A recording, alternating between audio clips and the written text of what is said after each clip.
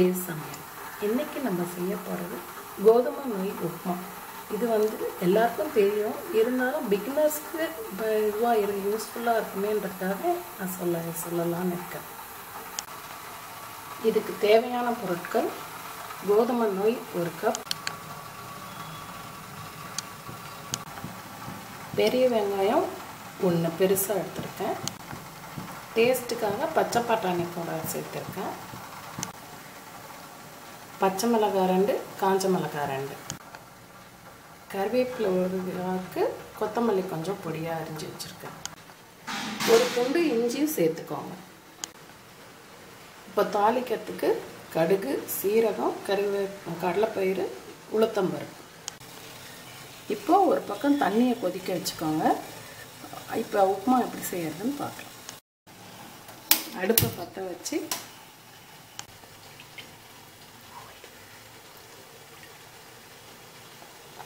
Oil ஒரு குழிக்கரண்டி ஊற்றிக்கணும் எண்ணெய் காஞ்சோடனே கடுகு அரை ஸ்பூன் சீரகம் கால் ஸ்பூன் கடலைப்பயிறு ஒன்றரை ஸ்பூன் உளுத்தம்பயிறு ஒன்றரை ஸ்பூன் வேர்க்கால் கட் பண்ணிட்டு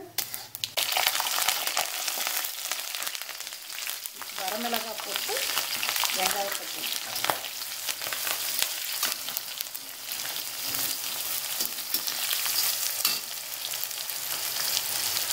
கருவேப்பிலை கொஞ்சம் கிள்ளி கிள்ளி போட்டுக்கணும்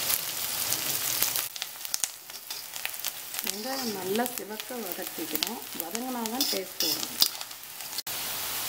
டேஸ்ட்டுக்காக பட்டாணி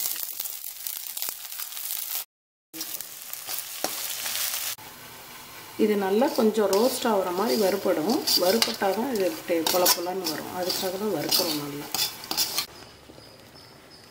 ஒரு டம்ளர் கோதுமைக்கு ஆறு டம்ளர் தேவைப்படுது எனக்கு இங்கே. இப்போ இந்த அளவுக்கு இருந்தால் தான் அது வெ வெந்து வரும்போது உங்களுக்கு நல்லா சரியாக இருக்கும். அதனால தான் ஆறு டம்ளர் போட்டிருக்கேன்.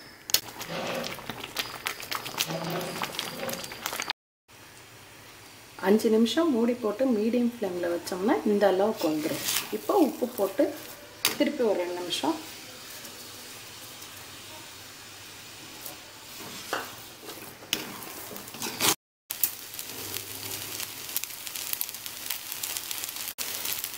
இந்த அளவுக்கு வந்ததும் சுவிட்ச் ஆஃப் பண்ணிவிட்டு சர்விங் பவுலுக்கு மாற்றிடலாம் இப்போது சுவையான கோதுமை நொய் உப்புமா ரெடி நீங்களும் ட்ரை பண்ணி பாருங்கள் பிக்னர்ஸ் ட்ரை பண்ணுங்கள் நல்லா வந்ததுன்னா லைக் பண்ணுங்கள் ஷேர் பண்ணுங்கள் கமெண்ட் பண்ணுங்கள் சப்ஸ்கிரைப் பண்ணுங்கள் பெல் பட்டன் அழுத்துங்க. தேங்க்யூ